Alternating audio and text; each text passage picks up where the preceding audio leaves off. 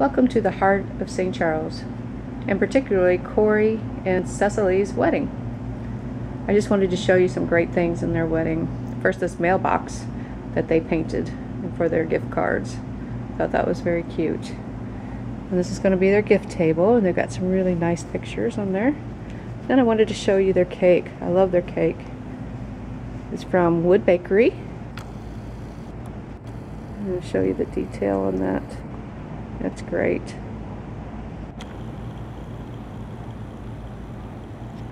And they've got some good buttermints sitting next to them.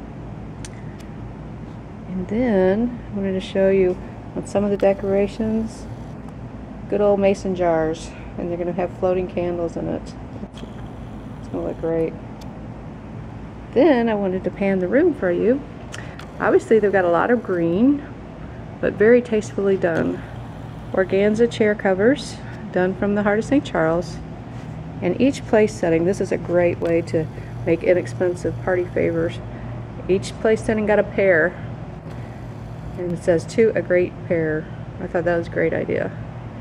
And in the center, this is very earthy. Uh, glasses turned over with rocks in the center and candles on top. It's going to look awesome. But they mixed and matched the centerpieces. Here's a tall one.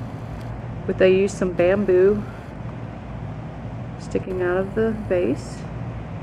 And a lot of floating candles they'll have next to it. And then on a lot of the tables, some of them they have mason jars, which has got to be probably one of my favorite, filled with rocks and flowers and a floating candle on top.